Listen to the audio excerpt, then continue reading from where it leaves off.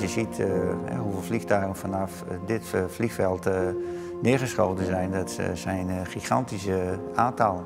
Met zijn kameraden van de Royal Air Force. Ja, ik dacht, god, piloten. Een beetje in Amerika mooi, in vliegtuig zitten hebben. Wat krijgen we hier? Well, I, I owe my life to them. They're the, they're, the, they're the greatest people in the world.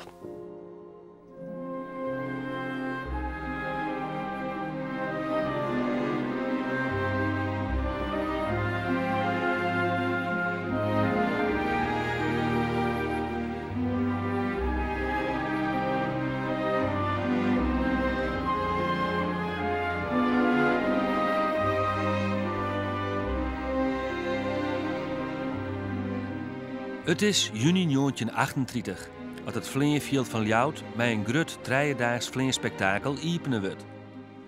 De dream van de Friese luchtvaartvereniging is eindelijk uitkomen.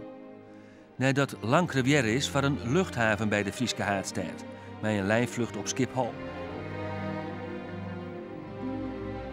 Het openingsfeest wordt nog meer dan 30.000 mensen bijwennen. Net wetende dat mij de onlist van het Vleenveld het fundamentlijn is van wat een van de belangrijkste uitvalsbasis van de Duitse Luftwaffe in Nederland wordt cel.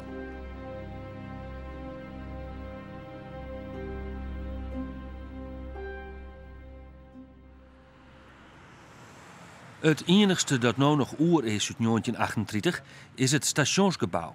Dat nu in vitrines de oorlogsgeschiedenis van de Loutervleenbasis verteld wordt. Hey, zie je dat embleem wel op die Fokker-Wolf? Ja, dat is het uh, jachtgeschwader nummer 1. Douwe Drijver en Alexander Tuinhout van de Frieske stichting Missing Airman Memorial Foundation doen al jarenlang onderzoek naar de impact van de loftoorlog op Friesland en de rol van de vleenbasis erin. Hier staat een toren, nieuwe toren. Op de grond gebeurde natuurlijk ook het nodige, maar dat was vooral uh, de strijd tussen de Duitse bezetting en, en het verzet. Hè. Dat speelde zich vooral natuurlijk op de grond af. Maar aan oorlogshandelingen gebeurde er in 1940 iets en in 1945 nog wel iets. Maar gedurende de hele oorlog was het vooral die luchtoorlog die continu doorging. Als je ziet uh, hoeveel vliegtuigen vanaf uh, dit uh, vliegveld neergeschoten zijn, dat zijn gigantische aantallen. We hebben in onze database zo'n 400 vliegtuigen in Friesland en omliggende wateren. En er zullen best nog wel wat meer geweest zijn. Want vliegtuigen die verdwenen zo in één keer in de zee. En van een heleboel mannen is nooit weer iets teruggevonden. Als de Duitsers begin mei in 1940 Nederland binnenvallen, stuiten ze op verzet bij onder de Aarsludiek en de Grebbeberg. Om Nederland daar capitulatie te dwingen, wordt Rotterdam bombarderen.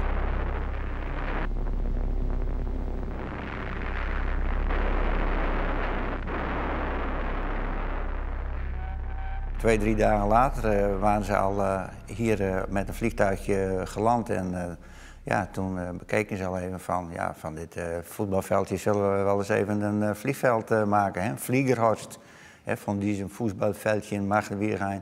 Vliegerhorst, dat was de, de gevleugelde uitspraak van een van de officieren. En ja, Rotterdam was op 14 mei gebombardeerd, dus van dat puin.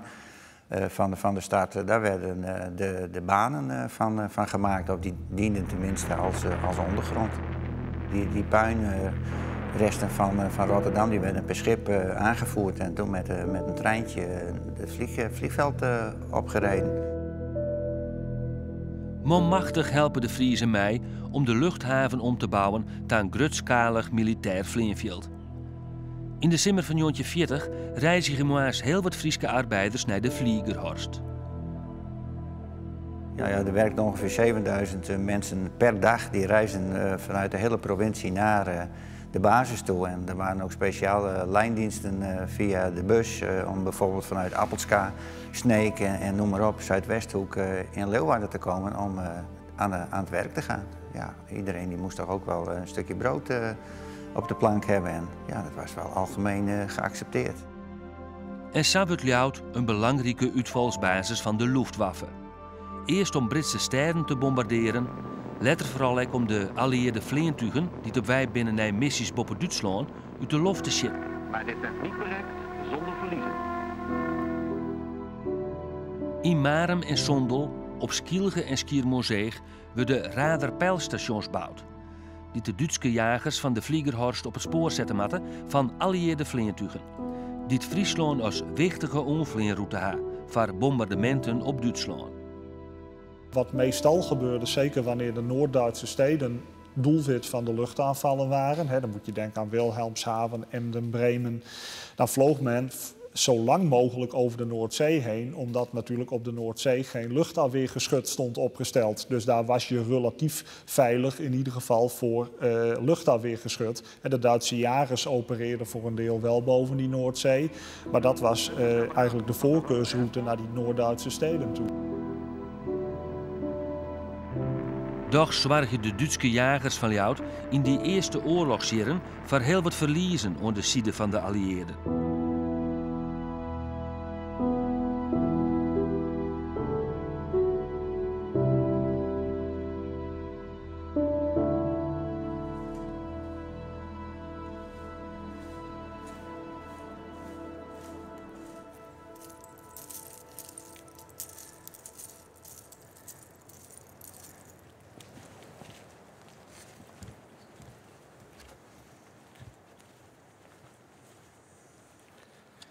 Hier hebben we Tate. Nou, die ligt hier voor ons.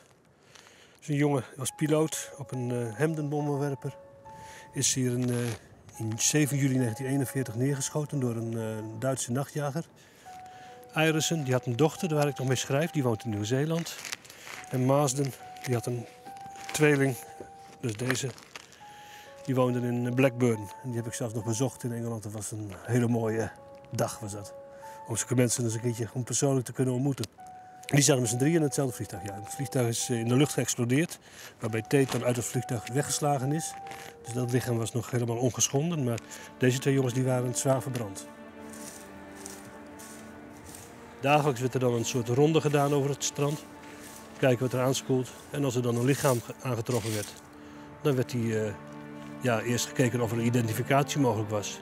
Gekist. En dan later werden ze dan met paard en wagen naar eh, het Vredenhof toegebracht.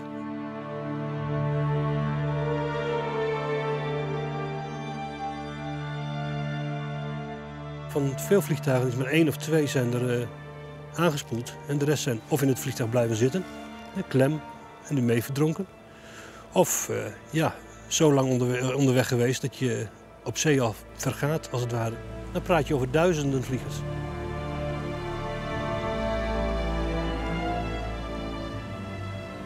Douglas Pierce, die ligt eh, naast die bloemenbak en dan de tweede graf daar rechts van. Die was eh eh, airgunner. Die jongen is hier met een eh, afweergeschut, die van Schiermonnikoog, vlak bij de vuurtoren in zee terechtgekomen. Dit is Turtle. Turtle was piloot van een Sterling bommenwerper. Die is neergeschoten op zijn, ik meen 35e vlucht. Dus dan was hij, hij was al bijna klaar. Ik geloof dat je 35 vluchten, operationele vluchten moet maken. En dan krijg je een, een pauze. En dan mag je eh, een, een paar maanden met verlof. En dan wordt er weer gekeken of je dan nog alsnog weer opnieuw begint. Of dat je als instructeur verder gaat. Dus dat is wat veiliger. Volgens het papier moet het een hele, hele goede piloot zijn geweest. Er liggen nog een paar bekende vliegers waar ik nog geen foto bij heb. Dus waar ik nog niet iemand van heb gevonden die hem persoonlijk heeft gekend. Maar als ik dan zoiets boven water kan krijgen, dan kan ik wel zeggen dat ik daar even een dag eh, niet kapot van ben, maar wel heel erg blij van ben dat ik dat contact heb. En dat je er dan eindelijk een foto van hebt. En dat je dan eindelijk met die mensen kunt schrijven van... vertel me eens meer over de geschiedenis van die jongen. Vertel me eens meer van wat, wat was het voor iemand? Eh, wat heeft hij in, in, zijn- in, zijn, in zijn jonge leven, in zijn hele kort bestaan, eigenlijk gedaan?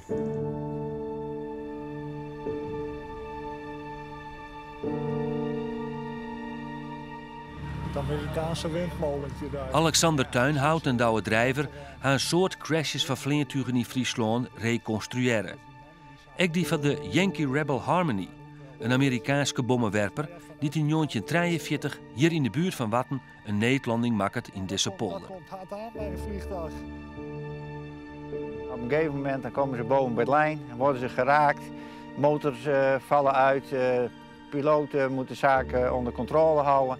En dan in één keer uh, is er helemaal geen actie meer in het vliegtuig. Ze zijn boven Friesland, ze maken een cirkeltje boven dit gebied. En dan doemt hier ineens een polder op met een molen. En dan, ja, wat, wat gebeurt er dan? In het vliegtuig zitten alve bemanningsleden, waaronder de 23-jarige Stanley Stankiewicz. On the uh, 8th of March, we were there to drop the bombs. We dropped our bombs over, the, over our target, you know. And as soon as we dropped them, uh, we got hit. And uh, then uh, we were we're going to get attacked. We, we waved goodbye to everybody, and uh, on the other crew, you know, we could see them there. We waved goodbye to them. We just dived right down and uh, flying treetop level. And the sky was loaded with, with guns, you know, with, the, with their artilleries. The sky was black. And everything was shooting at us from there, from, from there to uh, where we crashed. We ended up with two engines shot out. Um, there was a hole in the wing, there was a hole in the fuselage. Some ammunition hit the, some of our ammunition, you could smell that gunpowder all over the plane. We had no communications. I just felt that uh, that was my life, that my life was all over.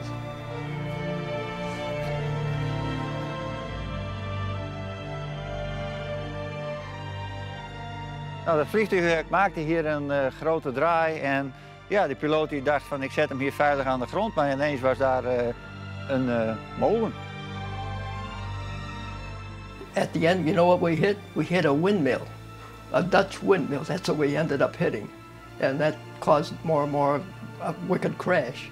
And the plane must have hit there, and then when it hit the ground, it just spun around about 380 degrees. You could feel that centrifugal force, you know.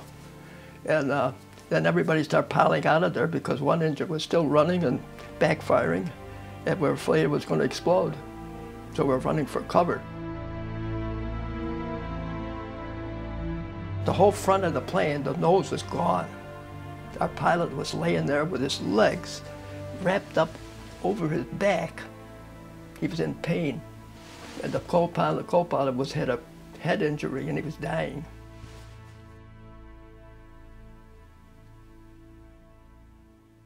We waited a few, about a couple of minutes or something, you know, hiding, laying down flat on the ground somewhere farther away from the plane. And we decided to come back to the pilot and call pilot and see what we could do for him. And uh, so the, the pilot was screaming for, for something, morphine, so, morphine, so we gave him the morphine shots. I think the navigator did that. And uh, I, I think we gave him a double dose to try to calm him down. And the co-pilot, we couldn't do anything for. And, uh, and then we walked away from there, and there was this Dutch guy uh, in a rowboat waiting for us to take us away from this place because uh, we didn't want to get captured by the, by the Germans. Co-piloot Steven Judd oerlibbet de crash net. Piloot John Kendrick terug de Duitsers naar ziekenhuis gebracht, dat zijn beide voeten amputeren werden. Nadat Stankiewicz en acht orenbemanningsleden met help van omwenners weten te ontkomen, wordt het verzet erbij hellen om ze verder in veiligheid te brengen. So we went to this farmhouse and rapped the door, and they took us in, and they gave us something to eat. And uh, unbeknown to us, they sent one of their sons to notify the underground that we were there. And a woman, girl shows up, about 19 years old. She was called Nina, Tina Mulder. And uh, she took all of our names and addresses and everything, where we were from and everything. And she said, I'll be back tonight. Uiteindelijk worden de jonge bemanningsleden oerbracht naar de zuidwesthoeken van Friesland, dat ze veiliger onderdoeken kennen. Stenkiewicz komt bij de familie Bransma op het heidenskip te lonen. Ik was een uh, jongen van 14 jaar, vond natuurlijk een beetje een avontuur. No? Ja, ik dacht, godsjes, piloten. Een beetje naar Amerika mooi, in vliegtuig zitten hebben. Hè? Wat krijgen we hier? Hè? Ja. Maar ik kan me dat heel goed herinneren dat, hij de, dat ze de jongens kwamen. Toen weer wel wat een spanning, hè. Stanley die kon ik wel een beetje opstandig worden, vooral als er dan dus vliegtuigen. Hè. Dan zei Tommy, Tommy, Tommy. En dan shit, shit, shit. En dan hadden er kamerbeker op het en weer eh, die, die wie wat heftig, ja. Ja, ja, daar worden we recht van. Dat had ik wat westen, zulke jonge man. Hè. Waar kom ik nou weer? Hè? Wat voor familie, weesje, waar, waar? Wat gebeurt er met huis? Hè? Dat, eh, dat, het wel, dat kon je wel onderscheiden. Een dat we elkaar wat kennen, wordt het allemaal wat, wat, wat makkelijker en wat losser en zo. Hè? Maar de eerste dagen zijn ze wel, eh, wel gespannen. Hè? But the most one that I remember is Brandsma. Well, I, owe my life to. They're the, the, the greatest people in the world. And the bravest. I love him.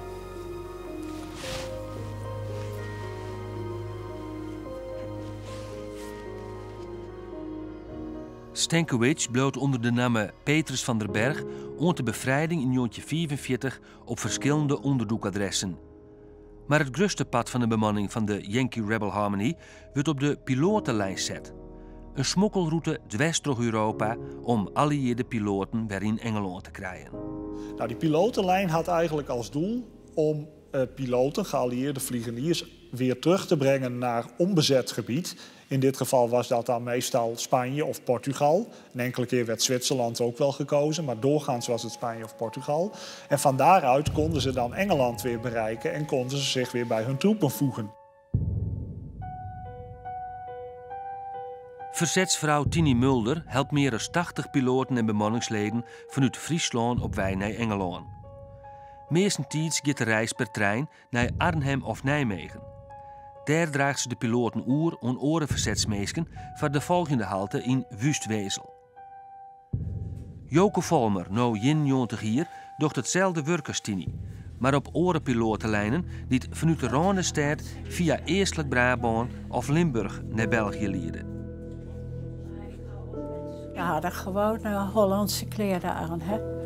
Wat natuurlijk. eh, eh, en vaak ook al een alpino petje, want dat is dan in eh, België en Frankrijk dragen de mannen dus.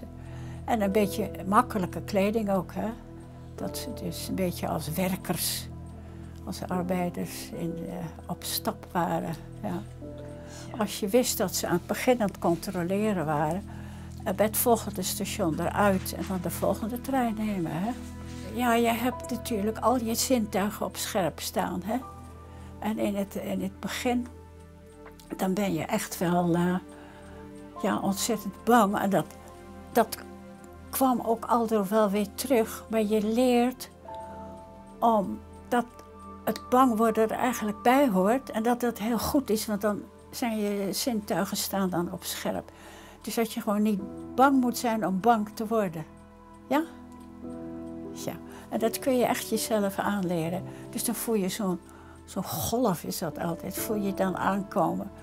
En dan denk je, nou ja, even over me heen en dan eh, opletten. Geen onzin.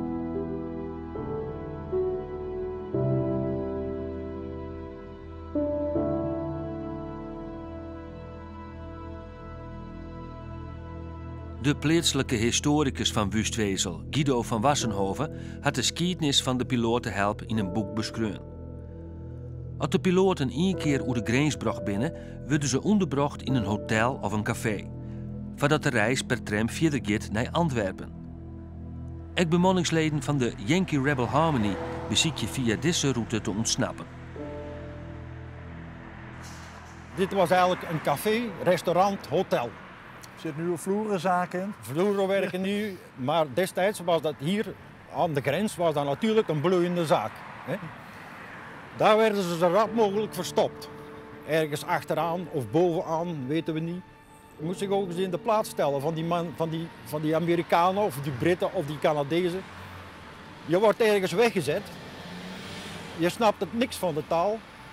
Wat de mensen over je zeggen, weet je niet. Maar je weet ook niet wie jij bent. Ben je wel te vertrouwen? Je geeft je eigenlijk je lot over in handen van totale vreemden. Het verzet van Wustwezel speelt een belangrijke rol bij de help onder de allieerde piloten. Maar wat net in je weet, is dat de Belgische René van Muilen en de Nederlandse Pauline Vlaming als pilotenhelpers collaboreren met de Duitsers. Maar hier in feite tussen uh, Wustwezel en, en Antwerpen, daar begon eigenlijk in feite, daar was, in feite was daar eigenlijk de feit, werd eigenlijk al dicht gedaan. Eigenlijk is de grensovergang hier uh, bij Wustwezel ja, voor, die, voor die Duitsers dus een beetje de kip met de gouden eieren uh, geweest. Tuurlijk, ja, tuurlijk. Duitsland was op dat punt gekomen dat elke geallieerde piloot, vooral de piloten, dat was natuurlijk een vliegtuig minder in de lucht. Hè? Ja, ja, ja. Hoeveel piloten zijn hier eigenlijk uh, gepasseerd? Is dat ook bekend? Uh, er zijn mensen die praten over 120, 200. Wie zal het zeggen? Dus, uh, je zult wel begrijpen, in die tijden nee. hield men geen lijst bij van ik heb die en die en die nee. zie gepasseerd. Maar er zijn er wel heel veel gepasseerd. Vanuit Wustwezel worden de piloten naar Antwerpen gebracht. Naar een appartement onder Van Eiklei. Onder piloten wordt verteld dat het om een onderzoekadres gaat. Dit appartementencomplex, daar hebben heel veel piloten die in Friesland ondergedoken hebben gezeten, die zijn uiteindelijk hier terechtgekomen. Het verschil met het echte onderduikadres was dat dit pand helemaal geopereerd werd door de Duitse geheime dienst, de Abweer die gaven de piloten het gevoel dat ze in een onderduikadres waren en dat ze vrijuit konden praten. En die afweeragenten, die vloeiend Engels spraken, die probeerden die piloten hier eigenlijk een beetje uit te horen. Waar kom je vandaan? Van welk vliegveld? Heeft je vliegtuig uh, geheime apparatuur aan boord? Uh, op welke onderduikadressen heb je hiervoor gezeten? Nou, uiteindelijk werd er dan gezegd van, goh jongens, uh, jullie gaan straks door. Weer op reis, verder naar Spanje, verder naar Portugal. We zetten jullie op de trein in Brussel of we brengen jullie naar Parijs. Dat werd ook wel eens verteld. Er komt straks een auto voor en die, die helpt jullie verder. Nou, die auto kwam ook inderdaad wel, maar die reed vaak niet verder dan het politiebureau hier in Antwerpen of de gevangenis. Hier onder de hoofdpoort reed de auto dan door de, de gevangenis binnen. En dit was althans het voorlopig eindstation van de pilotenlijn. Nou, ze zaten hier één uh, tot twee weken en dan was het uh, richting uh, Duitsland, waar ze in de krijgsgevangenkamp terechtkwamen. En daar hebben ze eigenlijk tot het einde van de oorlog hebben ze daar gezeten. Sommigen zijn helemaal aan het eind van de oorlog, toen de Russen naderden, nog weer overgeplaatst naar andere kampen. Moesten daar vaak ook grote voetmarsen bij af, afleggen. Maar ze hebben allemaal wel de oorlog overleefd. Maar dat geldt net voor haar helpers de verzetsgroep van Wustwezel. Hetgeen het verzet, die mensen van het verzet gedaan hebben, vind ik eigenlijk wel heel bewonderenswaardig. Ja, ze hebben echt hun nek uitgestoken. Ja, ja. In de, de, meeste aanhoudingen zijn dan gebeurd in uh, juli, uh, juni, juli van 1944. En er zijn toch acht mensen van Wustwezel die in de Duitse concentratiekampen gestorven zijn. Dat is natuurlijk wel de tol die ze daarvoor betaald ja, hebben. Dat is zo'n kleine, kleine gemeenschap ja. eigenlijk. Ja. De groep rondom Tini Mulder die heeft ongeveer 80 piloten geholpen. Heel veel Amerikanen waren daarbij. En ja, we hebben daar vrij grondige onderzoek naar gedaan. Het is ons gebleken dat van die ongeveer 80 piloten... dat eigenlijk maar één Engeland weer bereikt heeft. En al die anderen zijn ergens onderweg, meestal in Antwerpen... Uh, gevangen genomen door de Duitsers.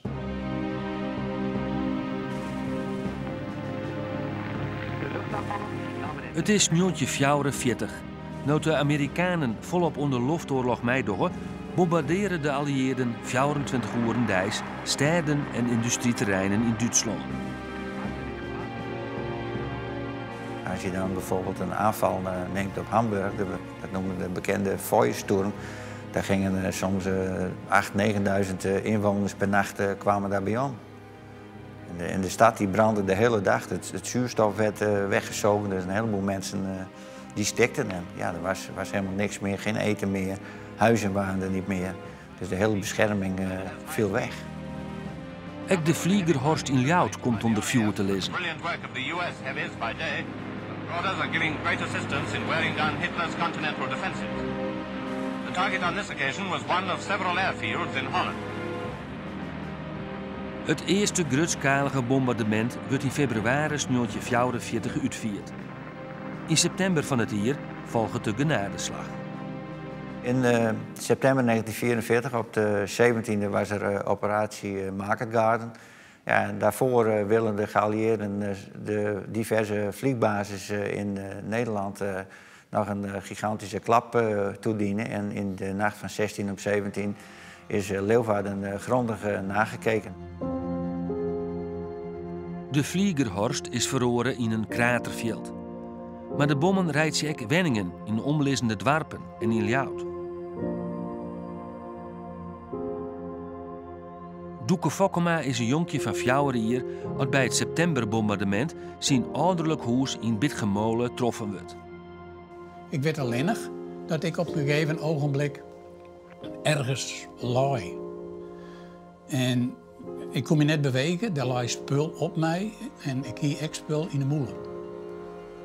En toen jet ik dus op een bepaald stuit in Rotten. Het bleek dus mem te wezen.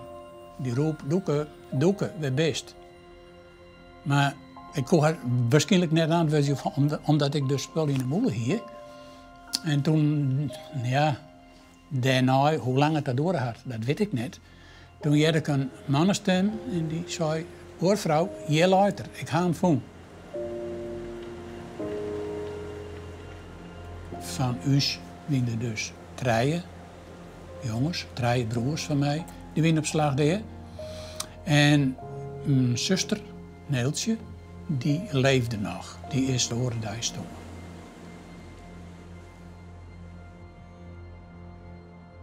Dit is Dirk. En die was 18 hier toen het gebeurde. Dat is Neeltje. Die wie 14. Germ wie 12 en Anton wie 18 hier. Wij hebben letter een huis met twee kamers. Een lietse kamer en een grote kamer. En dan wennen we simmers in een grote kamer en winters in een lietse kamer. Maar dat schilderij verhuizen mooi. Dus hij mem, gang alle jaren op Santje september, gang ze naar Betgem naar het kerkhof. Zien. Dat zonden ze nooit oorslaan. Daar, waren alles voor aan de kant zetten. Ik weet zelf wat het is, ik heb zelf een ben van dus ik weet ongeveer wat het is als het een verliest, een van die ben. En zij in fjouwer wint ik weet. Dat is nou wat oors, ja. ja.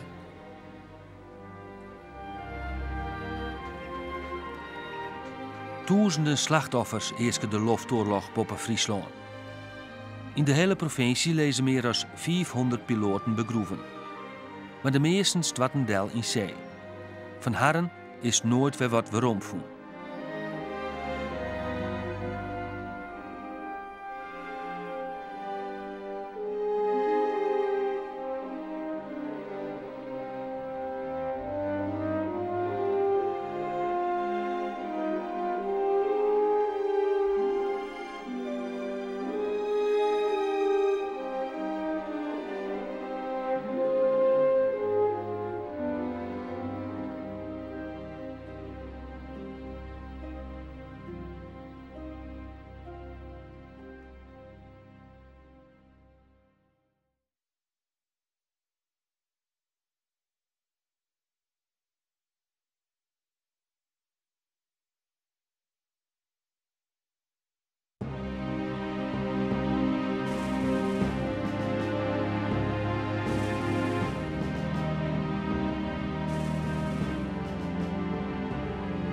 en die bracht mij naar een kamer en die zei, moet je hier weten. Nou, ik klap je, ruim. Ik klonk al net zo lekker. Dus, maar dus er maar in en ik kwam erin. Ik zei, goed dag. zei die man, hier werd door met Heil Hitler gegrüßt.